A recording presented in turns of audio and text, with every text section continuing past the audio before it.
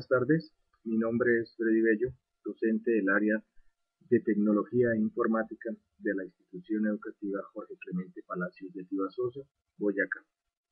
Municipio conocido también con el nombre de Jardín de Boyacá y la Tierra de la Feijoa.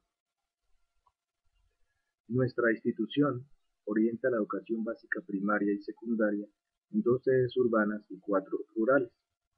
Tiene como profundización el énfasis en medio ambiente y en 2012 se articulará con el CEN. El tema de la propuesta es mejorar la comprensión lectora en los estudiantes de grado sexto de la institución por medio del uso de las TICs. La idea surgió después de realizar un análisis sobre las causas del bajo rendimiento académico de la institución, lo cual se evidenció en los informes valorativos bimestrales, los resultados de las pruebas internas, pruebas saber y en las pruebas IFES. Se concluyó que la causa primordial es el bajo nivel de comprensión lectora en un alto porcentaje de estudiantes.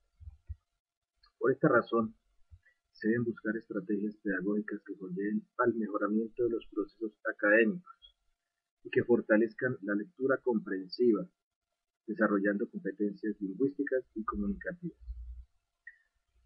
La metodología seguida fue la siguiente. Leer una historia para todo el curso, con lo cual se desarrolla la competencia de escuchar.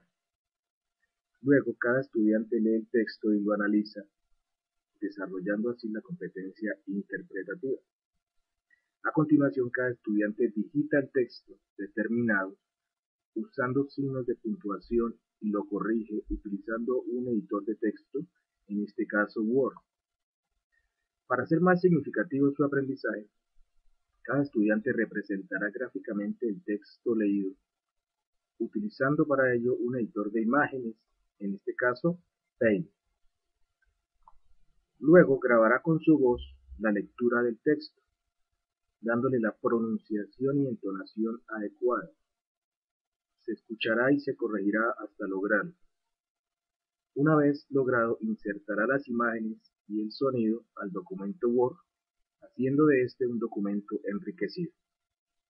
A continuación, cada estudiante colocará en contexto la lectura, es decir, lo traerá a su realidad personal, a su mundo, para hacer suyo todo ese conocimiento, mediante la toma de fotografías, videos, audio, realizados en sus casas con la ayuda de familiares, padres de familia y compañeros, utilizando para ello cámaras fotográficas, celulares, videograbadoras, etc. Los traerán y los editarán.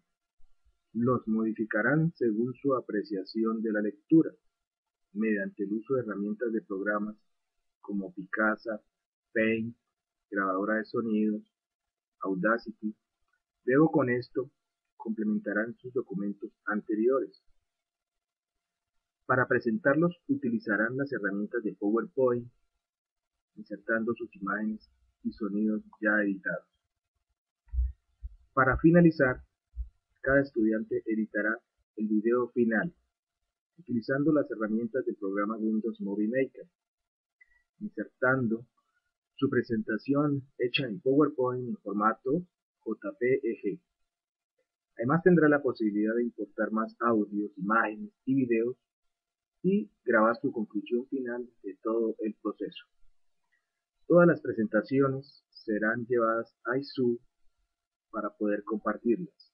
Además serán puestas en el blog cuya dirección es tecnoinfojcp.blogspot.com y en video en YouTube.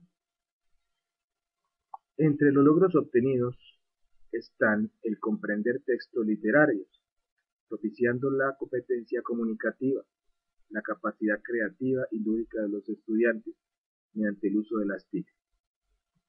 Por último, hacer la invitación a otros docentes que aún no se han vinculado con RECTIC para que lo hagan y a los que ya están que sigan adelante con las otras líneas de formación. Gracias a todas las dinamizadoras del proceso. Hasta luego